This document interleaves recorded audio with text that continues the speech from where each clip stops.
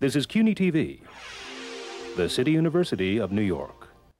Hello, I'm Doug Muzzio. This is City Talk.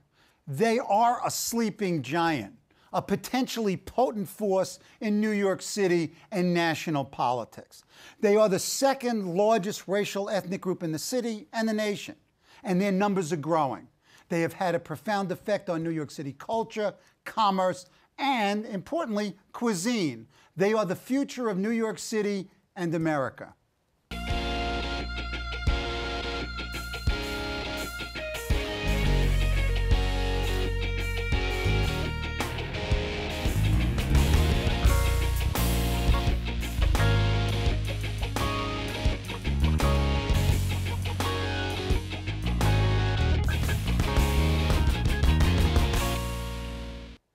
They are New York City Latinos, or Hispanics if you prefer.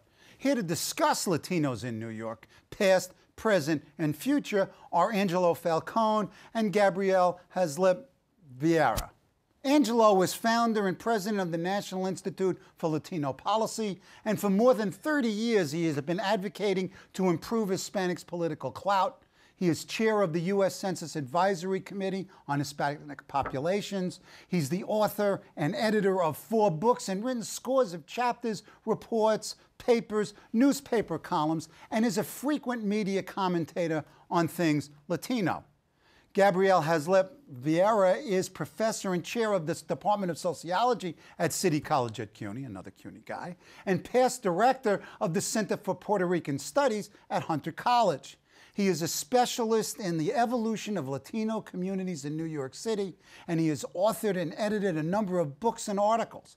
In 1995, he edited with Professor Sherrie Baver of City College a groundbreaking book, Latinos in New York Communities in Transition. He, Professor Baver, and Angelo are co editing a second edition, which looks at Latino New York 15 years later. Welcome, Gabriel. Welcome back, Angelo. Okay, this book was a groundbreaking book 12 essays, first book length analysis of the past and, and present condition of Latinos. Why, in the subsequent 15 years, there ain't much? Why? Well, uh, that's not really clear. Um, uh, one of the problems that we have uh, in the New York area with regard to research in this area is that um, um, we don't really have um, a sufficient number of specialists who actually focus on the Latino communities mm-hmm. in New York. They might look at Latinos nationwide or in other parts of the uh, in other parts of the country. Um, uh, we have some uh, uh, specialists in Latino studies or Puerto Rican studies who are doing work in other areas that have been neglected, like mm-hmm. uh, the uh, communities in Philadelphia, mm-hmm. uh, communities in Boston, uh, communities in Chicago, uh, that sort of thing. Okay. Let's focus then on what you wrote in 1995. What was the status of these communities in transition and what's changed? And in a sense, let me follow up with a couple of questions. You know, why a second edition? Why now? And why Falcón? But let's talk about the 1995 study. Yeah. Um, we thought of it as a pioneering work uh, because we were at, at, CUNY, we were teaching courses on um, Latinos in, in the United States. And uh, one of the problems was that most of the material uh, focused on uh, Mexican, Mexican American communities mm-hmm. in, the, in, the, Southwest and in Texas. And um, there were these studies that uh, were available for students on the Cuban communities in Florida. And there were, uh, you know, some of the studies that have been done on Puerto Rico, uh, Puerto Ricans in New York City. But um, by the time we put that book out in 1995, uh, it was clear that, you know, Puerto Ricans were not the only uh, important uh, Latino subgroup in the city, that there were these other groups that were becoming uh, important in terms of the uh, demographics and impact on society and the, and the economy. Mm-hmm. And um, uh, nothing had really been done systematically on these other, on these other groups. Right. So that was one of the main reasons that motivated us to. Uh, to Why a second edition? Well, because of the major changes that have taken place uh, since 1995. Um, the Puerto Rican community has declined in terms of numbers relative to the other Latino subgroups. And absolutely, since uh, haven't they declined absolutely in numbers as Puerto Ricans move out of the city? Yes. Uh, however, it's still the second most important uh, in terms of the numbers. Right, Uh, group behind Dominicans. Um, well, no, that's No? not that's not absolutely Oh, clear. at this good. point. Oh, okay. That's a Correct me when I'm wrong. That's a media perception, but uh, I think in the next five to ten years, the Dominicans will probably be a larger Right. group. But one of the things that's interesting about the scholarship that you mentioned is that you know, in the heyday of the Puerto Rican community in terms of uh, social science research, in the '60s and the '70s, when we were the poster boys of uh, Culture of poverty. cultural poverty, Wow. uh, you know, this persistent poverty stuff, you know, all, all of this stuff. There was a lot of a lot of things written, but as the community declined in terms of uh, size, and as you have these new populations in, I think a lot of social scientists in the city didn't know what to do with these new populations. Right. Uh, and there were a lot of. Uh, I remember spending a lot of time in my organization uh, during that transition, trying to get a lot of uh, professors at CUNY, white professors who look at issues of migration and Sure. social to, to pay more attention to Latinos, and uh, a lot of them just didn't know what to do. But eventually, I think you have you have this tremendous industry of immigration research that has just blossomed, and I think uh, the idea is uh, here in New York. I don't think we we actually quite caught up uh, in any serious way. Oh, I, I mean, just reviewing the literature in anticipation of our discussions, both the earlier discussion with you and, and this discussion, it doesn't exist. It's not there. There's this huge dearth of material on the topics that you addressed in the book. Why Falcón? I mean, you, you needed a third person and you needed Angelo? Well, some of us have some personal issues that we're dealing with, and some of us are uh, busy doing other things. I'm working on another project, and um, so. Um, What you know, about his time- intellectual time- contributions? No. Oh, I think that, that he's absolutely super, especially with regard to the politics. I mean, he knows uh, New York City um, and the Latino communities in New York City. I would say at this point, um, he knows he knows those communities better than any of us. I Some would of us say have that you are the foremost expert on Latino politics in New York by far. Yeah, I would agree. I don't. I don't want to compliment. Let's let's get off that. Yeah, Who cares about that? We don't care. Actually, actually, you stole my line. I was about to say that. Yeah, I, I, well, but you're too self-effacing. Yeah, yeah. So, I, okay, let's let's go back to this book. Yes. You divide the book basically into four eras, and that last era essentially was, as I recall, 1945 to about 1990. Yes. Why don't you just briefly lay out those eras and then talk about, you know, what's happened since then, which I'm sure is the the, to- the topic of the first chapter in the new book. Right. Um, in the um, in the 1995 edition, uh, uh, my own chapter began at the beginning of the um, 19th century, 1810. Uh, the chronology is now going to be pushed back to the New Amsterdam Dutch period. Oh, so you're going even back, back not only That's right. forward. Interesting. Going New back. we're scholarship. Going for- yeah, there's been some new scholarship. Mike Wallace has been very important. Oh, uh, I know, that's to that. brilliant Uh, stuff. the book that uh, he put out, um, I can't remember. Gotham? The, uh, no, not Gotham. The one that. Nueva York. Uh, um, who was the, Nueva York. the uh, yeah Nueva York. Oh, right. That's Based on- exactly based right. on the exhibit that And they Nueva had. York, by the way, for those those viewers who are interested, you can find it on the CUNY website, so you can go there. It's it's it, it's a wonderful. It's it's visual. It's great. It's Yeah. great Exactly. stuff. And he does uh, um, really uh, important yeoman service in, in articulating um, uh, the um, uh, or, or providing evidence and, and, and a narrative for the uh, uh, groups that, that could be identified as Latinos from the Dutch period up until um, well up until the cutoff date for that uh, book, which is 1945. Okay. He doesn't deal with the contemporary period. Okay. Uh, we've had that discussion. I've been trying to encourage him to. Uh, And he's the guy to do it. uh, yes, exactly. Maybe we can uh, we can strong arm him. So we had, uh, yeah, we had these lengthy discussions with Juan, uh, he and yours truly and Juan Flores. We had these discussions with Mike Wallace about the exhibit and the uh, publication, uh, encouraging um, encouraging him to um, include the period from 1945 to the present because of its importance, especially in terms of the numbers. Sure. Oh, absolutely. The, the communities are, are, are still small. Uh, if you're dealing with the 19th century, it's, it's not clear that people that we would define as Latinos um, actually defined as such because uh, they're mostly from the uh, Caribbean, overwhelmingly from the Caribbean, Right. from Cuba and Puerto Rico, uh, to a much lesser degree from the Dominican Republic. And uh, we have to remember that Cubans and Puerto Ricans were still part of the Spanish Empire. Sure. So there's this issue of um, uh, uh, whether they identified themselves or, or um, um, uh, identified themselves as Spanish subjects or as primarily members of the local merchant classes in Puerto Rico and Cuba and, and had that kind of lo- more localized identity. Socioeconomic and professional status of generally of these folks? Uh, for the most part, um, they were in um, economics and trade, commerce between uh, both of those islands, Cuba and Puerto Rico, and New York. Uh, Mike Wallace uh, elaborates on that uh, to a considerable degree in his book. Uh, comes up with information that we were not uh, familiar with. And we're talking about the period from roughly 1800 up until um, up until the time that uh, uh, up until the time of the Spanish-American War. Okay, so ni- 1898, 1900. exactly. So from 1900 to what, 1945? yeah. What?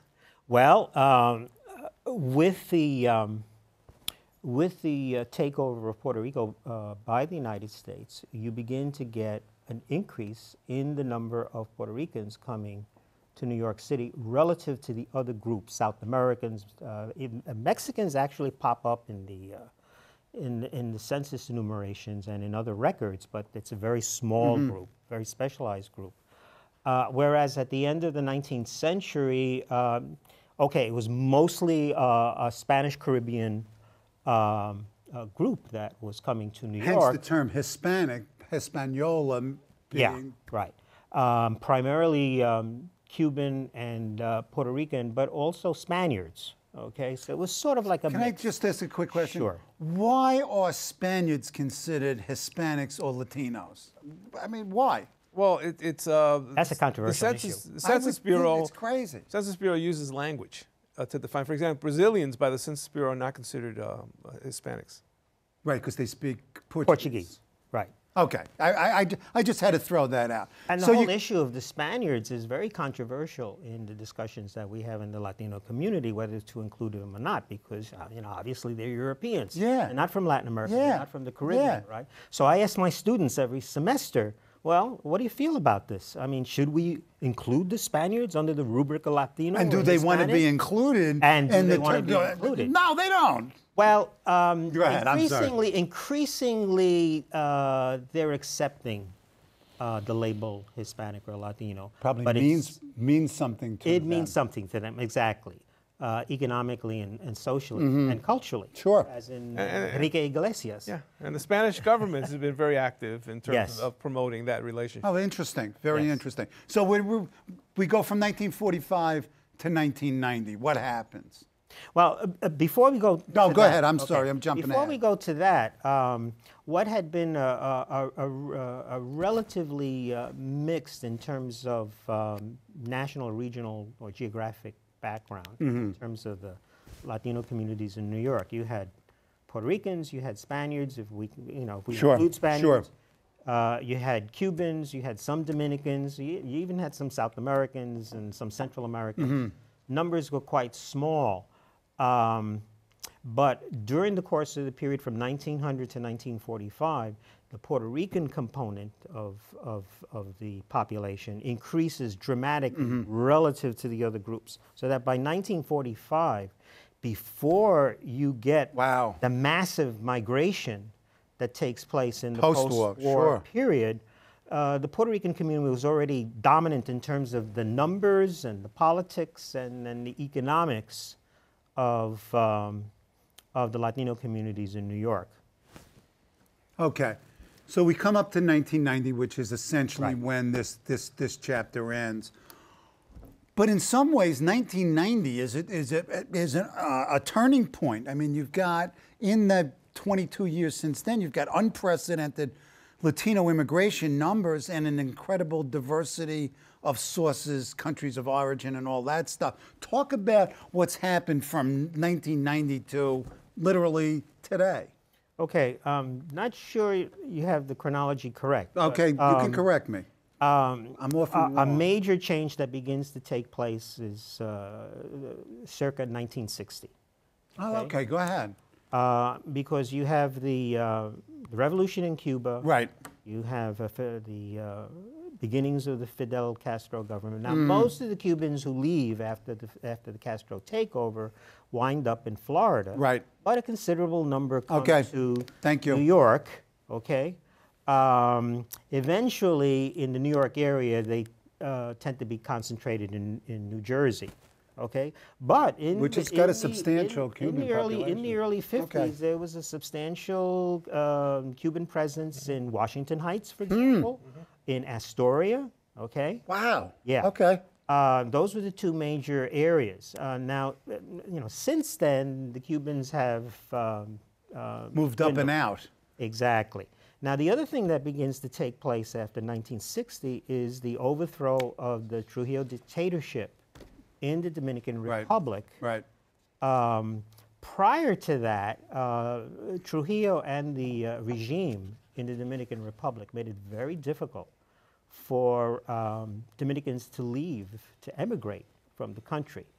Um, he wanted the Dominicans uh, in the country so that he could control them. You know, he was involved in this economic uh, development, industrialization, et cetera, et cetera. And why lose your best people? Exactly. So he was involved in, uh, you know, edu- uh, educating uh, Dominicans, uh, urbanizing them, and that sort of thing. Now he's assassinated in 1961, and so after that, what you have is uh, political, um, let's call it political chaos. Um, uh, the number of Dominicans coming to New York or emigrating from the Dominican Republic begins to increase. Uh, and that increase uh, in Dominican emigration um, really begins to take off after the 1965 Civil War. Right, and also the, the, the 1965 changes in the immigration law must have had Exactly. profound consequences in terms of Latino slash Hispanic mi- immigration Exactly, into the U.S. Exactly. Now, uh, so, um, and ever since then, uh, we've had these waves of, uh, of uh, Dominicans coming to New York City or to other parts of the country. And what's interesting is the, the role of the fiscal crisis as well in the early 70s, Go. 73, uh, which I think began a process of really uh, pushing Puerto Ricans out. Yes. And you have Dominicans kind of, in many ways, replacing them. In Where are the Puerto. Ricans going? Well, go Oh, on. we'll get to that in a minute. Oh, okay. Quit interrupting. No, no, you can continue. Go ahead. Yeah, um, Angelo, I think, is is uh, perfectly right in saying that uh, the the Dominicans that were coming in uh, into the city, uh, especially after the 1965 Civil War, uh, this was cheaper labor, uh, labor that could be exploited. Um, uh, a lot of uh, undocumented stuff, yep. people. Uh, Puerto Rican uh, workers, uh, you know, uh, they're citizens. They knew their rights, and uh, uh, you know, expected benefits and that sort of thing. And so uh, the enterprises in the city that were inclined to hire Puerto Ricans in the previous years or decades decided, oh, you know, these Dominicans are cheaper, and uh, let's replace the Puerto Ricans with the Dominicans. So there's both a push and a pull for Dominicans coming in, as, as, as, and most, most places, even Puerto Rico, certainly. yes, It was both a push and exactly. a pull. Okay, so we're at 1990, 19, in, in, in the early 90s. What's happening there? What happens immediately after you send the page proofs back to the publisher? Come on. Well, um, at the very beginning, at the very end of the 1980s, beginning of the 1990s, we start to see the influx of Mexicans from this, uh, especially from this region south of uh, Mexico Mm-hmm. City, the Mixteca Alta region of, of Mexico, which uh, uh, Robert C. Smith writes One of my about. colleagues at Now- Baruch, who's been interviewed on his book, you know, on this, on this very Okay. tape, at this Now, very table. what was interesting about the first edition of Latinos in New York was that we uh, learned about Robert C. Smith and, and his research almost at the end of the process when we were getting ready to submit to the publisher. And so we invited him to contribute, which he did. And his chapter in, in, uh, in the first edition of Latinos in New York is, is really uh, one of the pioneering chapters on, on this subject. And it really, and he's continued that work, and, and he- he's doing it right now. In fact, it's really a groundbreaking, you know, labor of love for uh, for Rob. Go ahead. I'm sorry. Okay, so um, you begin to get um, uh, an increase, rather dramatic, in the number of um, Mexican immigrants coming into the city. Whereas before, the Mexican population or Mexican American population was very small. Um, maybe there were only two or three or four restaurants in the city, and they, uh, that specialized in Mexican. Now you're talking uh, my talk. We're talking food here. Go ahead. uh, and uh, and some of them and most of them weren't considered very good. And now uh, that's all changed. Um, so um, and of course Robert uh, C. Smith, um, uh, along with uh, two or three others, are the main specialists in uh, in Mexican immigration to New York, uh, the New York region. Uh, but along with the Mexicans, you also started to get other folks from South America in increasing numbers, uh, especially Colombians and Ecuadorians, but also Peruvians. And sometimes the immigration of um, people from Central America and South America uh, is driven by uh, the politics in their, in their home countries. So, uh, for example, uh, during the uh, military dictatorships in Argentina, uh, New York City saw a, uh, a spike in the number of Argentinians coming to, Oh, sure, I New mean, York. okay. The same thing happened with uh, Salvador, uh, the overthrow of Salvador Chile, Allende yeah. In Chile after 1973 during the Pinochet years. Um, more recently, uh, the, uh, the conflicts in Central America, especially El Salvador, Mm-hmm. uh, but also Guatemala, and to a lesser degree, uh, Honduras. Mm-hmm. Now, there's been uh, immigration from those countries to New York um, um, uh, to a you know, relatively significant degree. And you got fairly And- sizable populations of all of these groups in New York City. Exactly. Okay. Now, uh. Salvadorans have uh, have been inclined to settle in the New York suburbs as opposed to the city. So their major impact has been in places like Nassau and Suffolk uh, uh, County, out in Long Island. Sarah Mahler has a very important book that Right, focuses on. right. That's probably the most important book published on uh, the Salvadoran experience. Um, but um, um, uh, and in terms of the um, you know, comparing the uh, immigrants from Central Americans and, and South American, South America, uh, I think um, the South Americans, especially the Ecuadorians and the Colombians, have had a, a greater impact uh, relative to the others Okay. from those regions. Okay. And the challenge is going to be trying to capture the whole uh, movement, the whole immigration advocacy movement, and the way that's transformed the politics in New York City. That's going to be really interesting to try to get into that, and also the relationship between the governments, the home countries, and these communities here. That's changed dramatically. In the past, you know, these consulates and all that stuff at the UN were like another planet. They're class-wise. Well, certainly the Mexican Now- consulate has been deeply involved with the the Mexican. Dominican, Yes. the Venezuelan. all- There's also the, the basically dual citizenship, the voting process. Right. Where you know, people in the Venezuelans, Mexicans can vote here uh, for elections back home. Those transformations, those are fairly recent. And those are really interesting. You know, it fits in very much with all that discussion about transnationalism Sure. and globalization. Okay, okay, let's let's talk about that. First of all, I mean, there's there's often talk, and we talked about it last week, about an Hispanic vote. Is there an Hispanic vote that casts ballots as a block or nearly in, in block-like monolith? I, I mean, what do we have here politically? I mean, you're talking about all these different groups. Do they differ? Do they conflict with one another? Is there competition? Do Puerto Ricans, you know, run into Dominicans and fight over the same political power, patronage, jobs, etc.? I mean, you, what's the story here?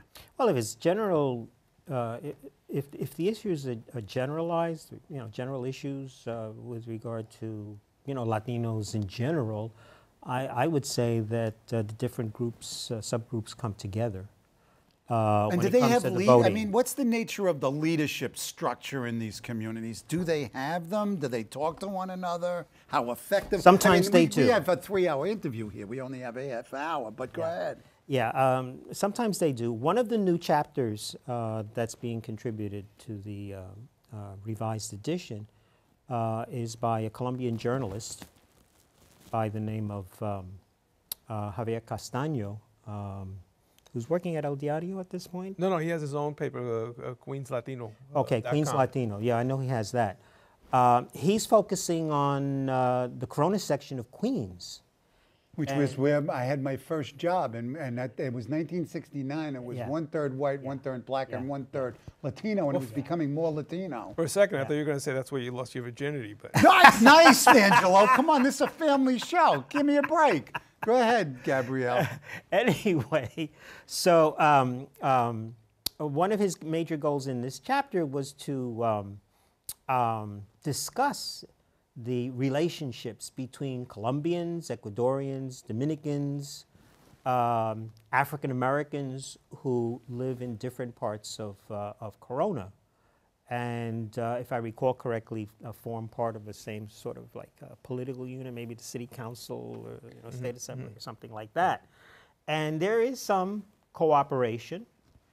Um, But as a voting bloc, I think what's interesting is uh, Puerto Ricans and Dominicans vote very similarly in terms of the Democratic Party. it's the Democratic Party, really. and, and you have part. a difference in Queens of degree. You know, you still have majorities of uh, Latinos in Queens, South Central Americans that vote Democratic, but at a lesser degree.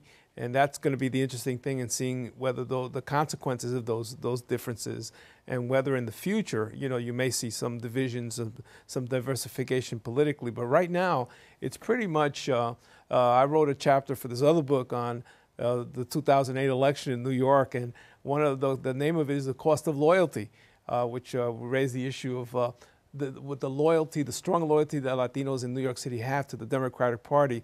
What is the cost of that in terms of their? Okay, they're giving me the goodbye sign. Uh, 2013, there's elections, no Latino citywide candidate. What's the story with Latinos in politics in New York City? Give it to me in 30 seconds.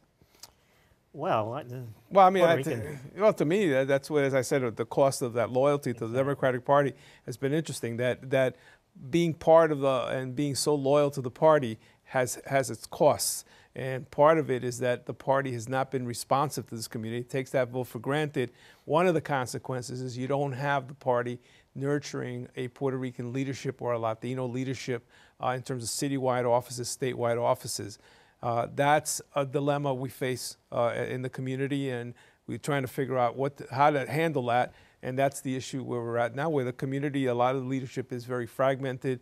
You have the the, Im- the dominant images are of Latino elected officials going to try on trial, going to handcuffed. handcuffed, and that's uh, that's that's a real dilemma. So that I think the book is going to try to address that and, and talk about where we're going. I have the final chapter, uh, which is uh, uh, writing about the future of the community. So uh, these are the kinds of issues we'll we'll try to you know grapple with in in this book. Okay, when does the book come out? When are you going? When is it going to get published? hopefully next year. You coming back? I mean, you guys have to come back. We have to talk about this book. Fine and dandy. Good. My thanks to both of you. My thanks to Angelo Falcón and Gabrielle Haslip Vieira for being on the show. See you next week here on CUNY TV.